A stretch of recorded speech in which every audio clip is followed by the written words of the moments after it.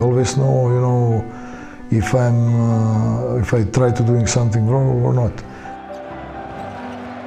I always try to, to, to talk with myself, you know, about everything. And uh, I keep one thing that uh, it was from first day that, uh, that I start to be coach.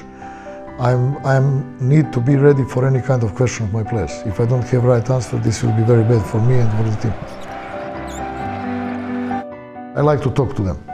And I'm always ready to, to listen to them. I always say, guys, this is that I believe that is good way, let's say, if you prepare the game, tactical things and everything. But if any one of you have suggestion, I am ready over here to discuss and to, to listen to you. Of course, the end of the, everything is my decision because it's logical. But players, they're, they're people that they play and they, they must feel comfortable with, with everything that we try to do.